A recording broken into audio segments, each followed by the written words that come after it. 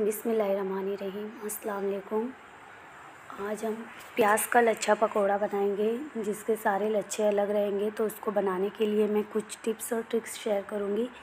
आप उसको फॉलो करेंगे तो आपके पकोड़े भी देखिए, बिल्कुल लच्छेदार बनकर तैयार होंगे।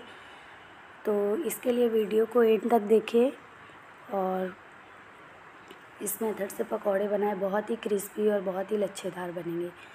तो सबसे पहले हमने यहाँ पे तीन से चार मीडियम साइज़ की प्याज लेना है और प्याज को कट कर लेना है बारीक बारीक और इसे छुरी से ही काटना है। इसको ग्रेट वगैरह नहीं करना है।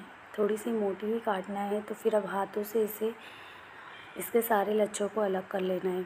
ऐसा करना बहुत ज़रूरी है। ऐसा करने से लच्छे अलग हो जाते हैं। आधा टीस्पून हल्दी पाउडर है, वन टीस्पून नमक है, वन टीस्पून है सौंफ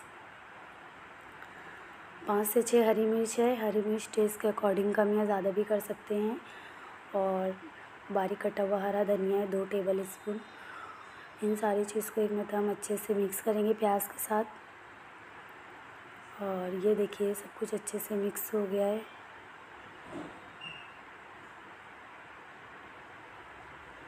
अब हम इसमें ऐड करेंगे आधा कप बेसन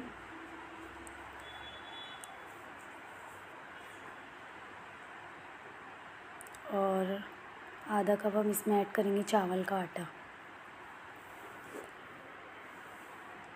ये देखिए, चावल का आटा डालने से ये बहुत ही क्रिस्पी बनता है तो आप चावल का आटा ज़रूर डालें।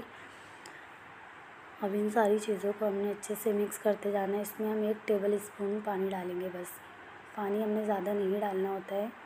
बस एक टेबल स्पून डालेंगे फिर से इसको अच्छे से मिक्स करेंगे।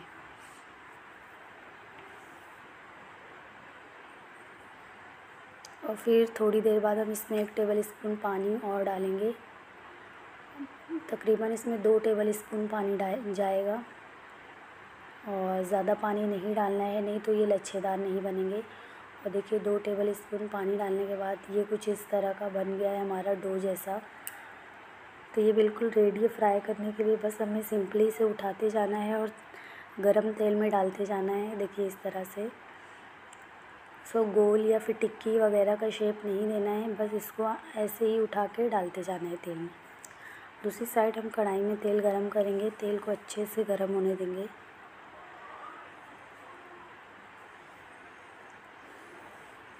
और एक एक करके पकोड़े इसमें ऐड कर देंगे।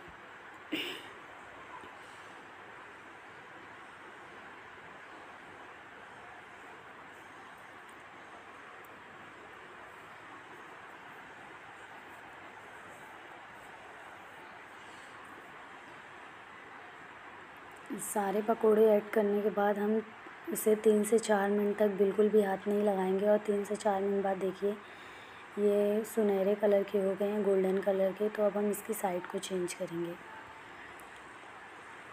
और सारे पकौड़ों की साइड को चेंज कर लेंगे और दूसरी तरफ़ से भी इसे गोल्डन और क्रिस्पी होने तक फ्राई कर लेंगे। ये देखिए, दोनों तरफ़ से बहुत ही प्यारा सा कलर आ गया है। और ये बहुत ही ज़बरदस्त से, बहुत ही यमी और लच्छेदार हमारे प्याज के पकोड़े बनकर तैयार हैं। इसे हम बस प्लेट में निकाल लेंगे और इस तरह से बाकी के सारे पकोड़े भी फ्राई कर लेंगे।